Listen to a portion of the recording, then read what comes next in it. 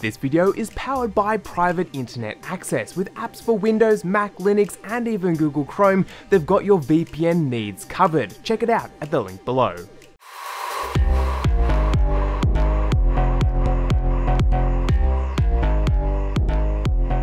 What's up guys, CPU Modder here, back with another video, and I actually get asked almost every single day, in fact, almost every hour at this point, what do I think of this build for this particular task, and they insert either a PC part picker link, or some sort of little list below that comment to sort of see what I think of a build for a certain task, or what they should upgrade, or something along those lines, so I thought, why not grab a couple of those comments and actually sort of answer them in a video, and give you guys some of the thought processes that I go through when thinking about upgrading upgrading a system. Now, specifically today, we're looking into the upgrade side rather than what I just think of a build in general, and we'll be taking a bit of a look at what you might want to upgrade or what it might just not need an upgrade or something along those lines. And I did grab them from the comment section, and speaking of that comment section, if you want me to have a look at your build, whether you're looking at an upgrade or you're just looking at a new build, or even heck, if you just want to show me your PC part picker link, let me know down in that comment section. So I'll do my best to get to everyone, but uh, depending on how full that comment section is, maybe I won't get to everyone, but I will definitely do my best. So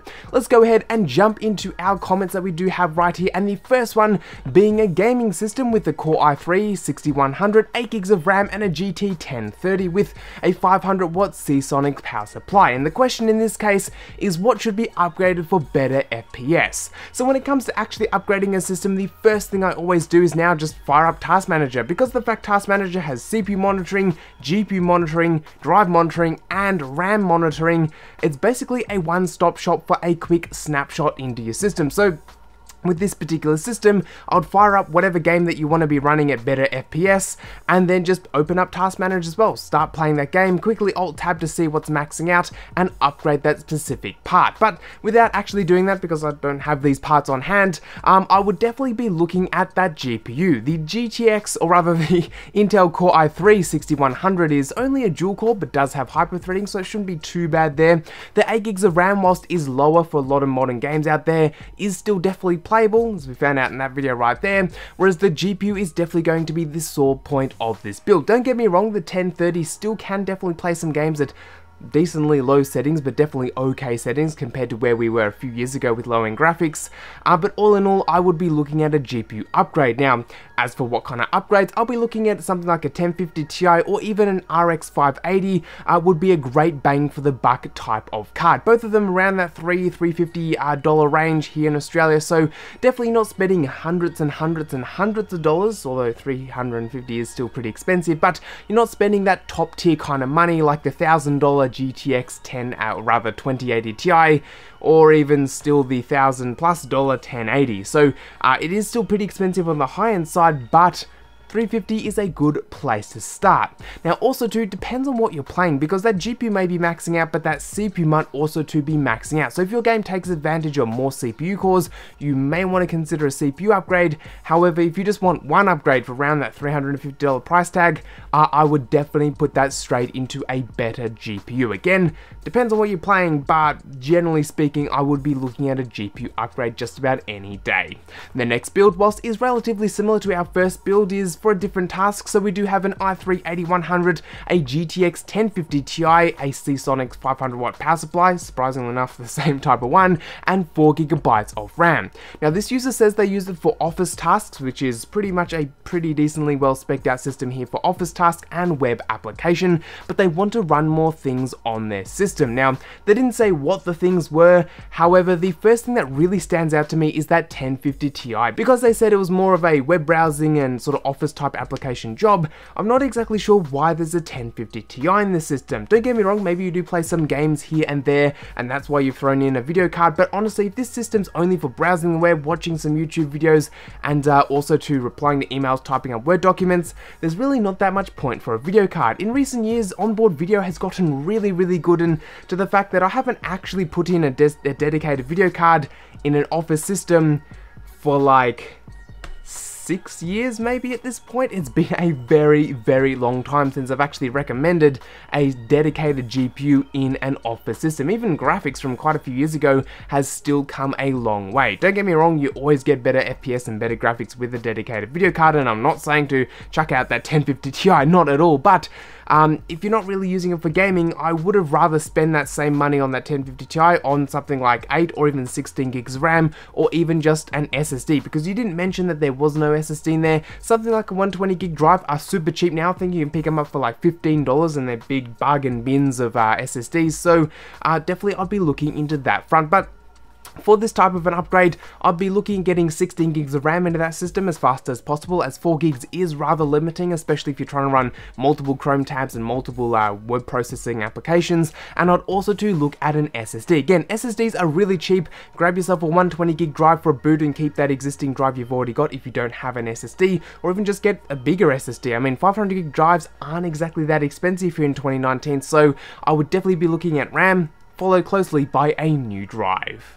Now the next one is not exactly a uh, desktop system and is a little bit different to the questions that I usually get, but is still one that comes up all the time, and that is, I have an Asus VivoBook uh, S15, the specifically the N580DV, or rather VD, can't even say my numbers and letters right, uh, and this user wants to upgrade their i7 to an 8th generation part. Now, I decided again to include this system because I get this question quite a lot and does definitely come up a lot when it comes to upgrading your systems in these types of way. And um, rather than just sort of laughing at them or giving them a stupid let me Google that answer for you, um, the legitimate answer to this kind of a question is, unfortunately you can't actually upgrade laptops in the same way you can with desktops. Now, a lot of us in the PC space already know this, but there's definitely a lot of people who are still on the entry level side that this is a valid question for them. So to answer it simply, unfortunately no, a lot of manufacturers, just about any manufacturer at all in recent years have all soldered CPUs, all soldered GPUs if they have one, most of the time soldered RAM and also to, in case of Apple, soldered SSD. So unfortunately on the laptop side there's a lot less you can upgrade when compared to something like a desktop PC. Now uh, in terms of your question, no unfortunately there's no way to upgrade your system because most likely uh, it's all going to be soldered in there and even if it wasn't soldered I'm very very sure that Asus wouldn't support this kind of stuff in the software side. So especially in the laptop side, desktops are not so much of the problem right here, is let's say hypothetically you were able to upgrade the CPU in the system somehow you manage unsolder the CPU and get one managed uh, to put in all that kind of stuff, hypothetically, you've just upgraded your CPU. If you were to go ahead and boot that system, there's a high chance it just wouldn't boot at all. Not because of an electrical or physical side, we've just said hypothetically it would work, but more so on the software side, because laptop manufacturers know that this particular model is only going to have this CPU or only going to have this GPU or only going to have this RAM configuration, a lot of the time they'll only validate the BIOS or the firmware or whatever's running the system with that particular set of hardware, which makes total sense. Why would you validate your laptop with other parts that are never going to be in that laptop. So both from a software and hardware standpoint, there's not really that much you can do for upgrading things again like CPUs and GPUs on a laptop. Now that being said, there are other laptops out there like the recently released Alienware laptops that do have replaceable graphics and do have upgradable CPUs. However, they're only on the super high end and let's face it, if you bought one of them, you're probably not thinking of an upgrade anytime soon. But uh, just to keep this sort of question in mind, no, unfortunately you cannot do an upgrade like this at all. Another build that actually reminds me of my old PC that I used to have is a 5820K i7 with a GTX 780 Ti, two SSDs in RAID 0 and a Corsair RM1000 watt power supply, and some mechanical drives. It would be nice to know what kind of mechanical drives, but either way, the question right here is this is the system and I'm looking for better FPS in 4K and high refresh games. Now I'm not sure whether we're looking at 4K high refresh rate or 4K or high refresh rate because I'm, I'm, not really clear there, but either way, uh, you'll need a video card upgrade. Just plain and simple as that. GTX 1080 Ti will get you by, or some like a 2080 Ti will also do get you by. Both of them are extremely expensive, though the 10 series are coming down in price point right here. Uh, but if you're looking at uh, 4K gaming, you're definitely going to have to spend some serious cash to get those frame rates. And that being said, it's still a lot better FPS than 1440 or even 1080p. Now that 5820K is still getting a little bit older and both AMD and Intel both have consumer grade uh, CPUs with 6 cores and 12 threads, so a lot of people might be assuming, well, why not upgrade the CPU? Well, answer is pretty simple, that 5820K is still a powerhouse of a CPU. If you got a good one, it's also too going to be pretty decent at the overclocking side, so honestly I don't really see that much of an advantage, especially on the gaming side to upgrading that CPU. Sure you may be seeing better IPC in games, better single core performance in some situations, but honestly it's pretty much going to be fine by today's standard. I mean I was running my 5820K just the other day in fact on a, um, well I pointed over there but it's actually over there, uh, on a little test bench just doing some simple games, doing some tests here and there, and honestly I had no problems there, so um, I would keep that 5820 20k, I'd keep whatever RAM you've got in that system, I would pretty much just focus my entire budget on upgrading that video card. Whether you sell out the old 780 Ti and grab yourself a 2080 Ti or something along those lines, uh, video card upgrade was something I would definitely be looking at right here. And rounding out our builds, we have here today quite an old system, but nevertheless, we're an 8350 from AMD with a 7770 GPU, also 2 from AMD, and 8 gigs of DDR3 RAM, and a 1 terabyte SSD. Like, hang on. I really hope they mean SSD because as a storage kind of person, I do love that kind of stuff. So it's a little bit of out of place. Maybe they meant hard disk drive, but either way. Um, and they're going ahead and looking at upgrading to an FX 9590, which is not a bad chip. And honestly, um, I would say yes, go ahead with this upgrade if you can get it done on a budget. Um, for this kind of a system, it is definitely getting older and a little bit sort of uh, outdated, though that being said, the 8350 is still plenty enough for 1080p gaming in most situations, in most games. Um, though that being said, keep in mind, spending a bit of money on a mid-range kind of system is going to net you better performance than that 8350 being upgraded to the 9590. Sure, that being said, you'll need to buy a new video card, you'll need to buy a new RAM, a new motherboard, and there's a whole lot of things you'll need to buy new, but you will see better performance. However, specifically looking at this question right here, going to the 9590, sure, I mean, if you can get it on a budget again, definitely would, would, would go ahead and do it. Um, personally, I might be going ahead and looking at a video card upgrade rather than a CPU upgrade, um, but just depends on what you are actually doing. Now the actual comment says right here that they're doing some retro kind of gaming, though that being said, kind of depending on who you ask will depend on what the definition of retro type of gaming actually is, because that 7770 might be perfectly fine for some older games that weren't just around way before that 7770, and you'd be getting perfect performance right here. But my question would be then, why do you need that 9590 if you're playing a retro game? So I'm not exactly sure the uh, mentality behind this upgrade. If you can get it done for around $100, I'd say absolutely do it. I mean, $100 for an upgrade system like that, perfectly fine. You may need a new cooling system, but either way. Um, but if you're going to be spending more than $200, I personally would be then just saving that money and looking into a completely new system. Again, sure you can't recycle the parts as you could if you were just upgrading to a 9590, but at the same time, you know, spending five, 600, maybe maybe even $700 today could very well see you getting much better performance than that 8350 system is currently getting. But again, comes down to what you're doing. And that's sort of the conclusion of this video. Sure, there are definitely some really great upgrades for a lot of people out there, but comes down to what you are after in a system upgrade, or even if you need a system upgrade at all.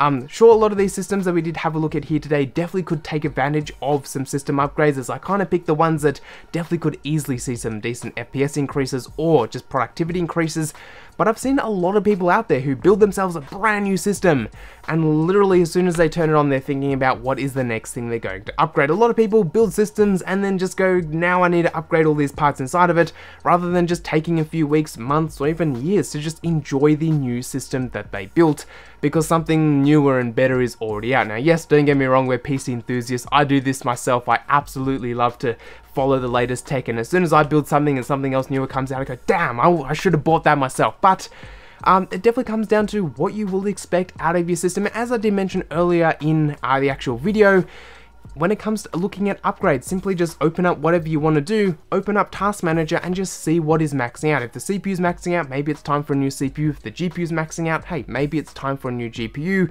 Or if the RAM is running out, maybe it is time for some extra RAM. It really comes down to what you need rather than what the internet does say. For instance, I was on a forum the other week and I was looking through some new PC building sections and I found someone who was on the forum just getting into PC gaming and looking at building their own system and sort of seeing what people thought they should go ahead and build. And the most sort of uh, recommended system was a 1080 Ti and 7700K base system. Like, not really something I would personally recommend for someone who's first getting into PC gaming. And honestly, if they don't really get hooked on gaming, they've just bought themselves a 1080 Ti 7700K system, wasted a bunch of money on something they now don't like. So honestly, when it comes to upgrading your system, take everything with a grain of salt and see what you want to do rather than what the internet wants. Don't get me wrong, there's a lot of people out there like me who love to give out advice and help you along the way with building and picking parts.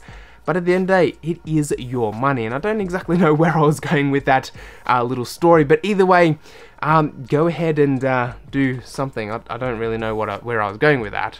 Either way though, the parts that we talked about will be linked down in that description box. If you want some advice or my two cents on whatever may be going on, let me know down in that comment sections. I'd love to have a chat with you guys. And uh, if you want to see more of this series, do let me know. But thanks guys for watching. I'll catch you all in the next one.